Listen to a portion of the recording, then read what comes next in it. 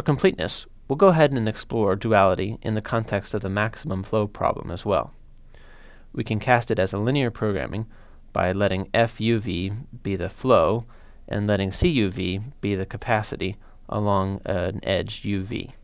Our goal is to maximize the flow out of the source, subject to the conservation of flow constraint and the capacity constraints. And of course, flows must be non-negative as well. To express the dual, we'll use YU for the conservation constraints and YUV for the capacity constraints. Two subscripts mean a capacity constraint, one subscript means a conservation constraint.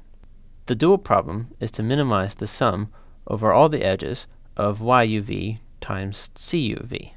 Note that the YU's have no role in the objective function because their coefficients are zero. The constraints for the dual involve several cases. We'll consider first those arising from the objective function coefficients for edges out of the source being 1.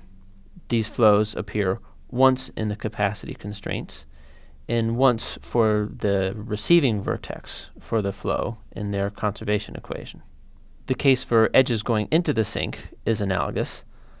The flow is present in the capacity constraints and in the conservation of flow constraint for the sending vertex.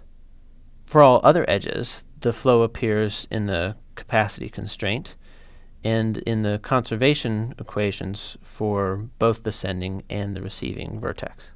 And of course, these dual variables have to be non-negative.